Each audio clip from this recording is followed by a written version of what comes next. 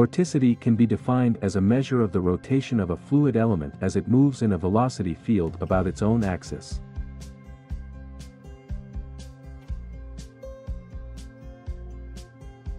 To understand this definition, consider the following illustration. This is the path line of the particle rotating around the axis. Let's just say, there is a square fluid parcel there. This fluid parcel will move through a circular path line. Note, the north side still faces north. And the south side still faces south. This means that the fluid parcel does not rotate about its own axis. Thus, the vorticity value is zero.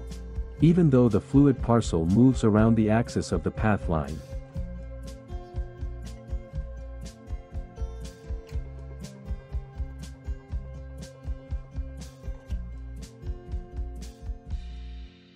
Now, consider the following movements.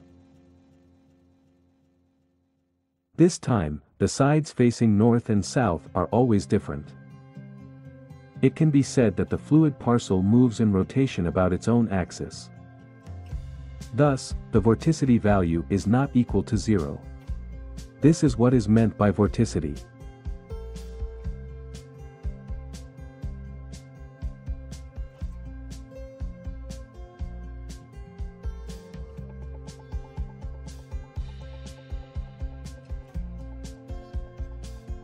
Mathematically, vorticity can be calculated through the equation, zeta is equal to curl of the velocity field.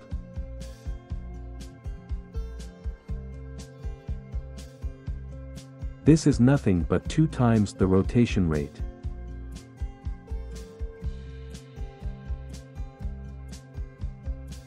Or partial w partial y minus partial v partial z i hat, plus partial u partial z minus partial w partial x j hat, plus partial v partial x minus partial u partial y k hat.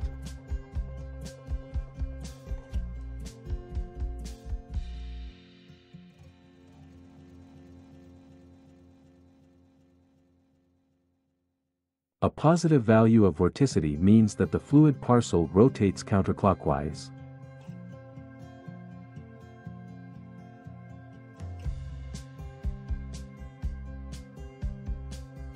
A negative value for vorticity means that the fluid parcel rotates clockwise.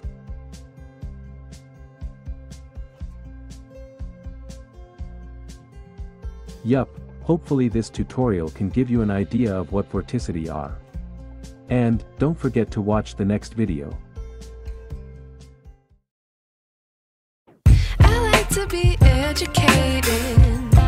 But I'm so frustrated. Hello to my loneliness. I